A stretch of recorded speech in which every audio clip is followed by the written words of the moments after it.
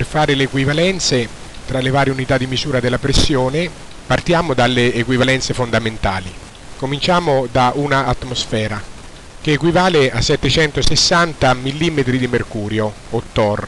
Infatti ricordiamo che la pressione atmosferica trasmettendosi all'interno del mercurio è in grado di tenere sollevata la colonnina di mercurio del barometro di, di Torricelli fino a un'altezza di 760 mm. Quindi la pressione atmosferica corrisponde alla pressione in grado di esercitare alla sua base una colonnina di mercurio alta 760 mm. Questo era il significato del, dell'equivalenza a un'atmosfera uguale 760 torr. Poi sappiamo anche che un'atmosfera sono 101.300 pascal e siccome possiamo scrivere questo numero eh, come 1,013 per 10 alla quinta pascal, 10 alla quinta pascal sappiamo che per definizione è un bar, allora viene che un'atmosfera è 1,013 bar, scritto qua. Queste tre equivalenze, quindi un'atmosfera espressa in torr, pascal e bar, eh, le ho eh, riscritte qua un'atmosfera sono 760 torr, sono 101.300 pascal, sono 1,013 bar. Adesso vediamo un torr, cioè un millimetro di mercurio, quanti pascal sono.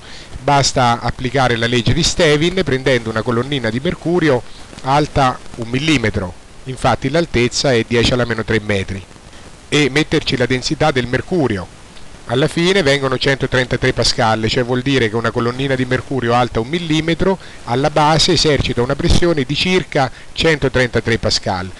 Rovesciando questa equivalenza possiamo dire che un pascal è circa un 133esimo di torr.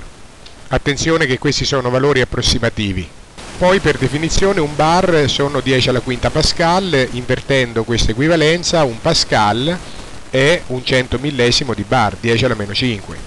Poi possiamo rovesciare questa equivalenza, eh, un'atmosfera sono 101.300 pascal e quindi troviamo che un pascal è un'atmosfera diviso 101.300.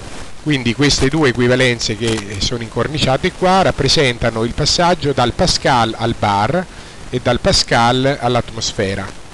Poi rovesciando quest'altra equivalenza che un'atmosfera corrisponde a 1,013 bar, abbiamo che un bar è un'atmosfera diviso 1,013. Quindi queste due equivalenze qua rappresentano il passaggio dai bar ai pascal e dai bar alle atmosfere. Poi rovesciamo questa equivalenza che un'atmosfera sono 760 torr e troviamo che un torr o millimetro di mercurio è un 760 di atmosfera. Questa equivalenza fa passare dai torr alle atmosfere. Ora possiamo anche dimostrare che un millibar è, uguale a un ettopascal. Infatti il millibar vuol dire 10 alla meno 3 milli, 10 alla meno 3 bar, ma bar è 10 alla quinta pascal, quindi 10 alla meno 3, 10 alla quinta fa 10 alla 2. 10 alla seconda vuol dire etto, etto pascal, 100 pascal.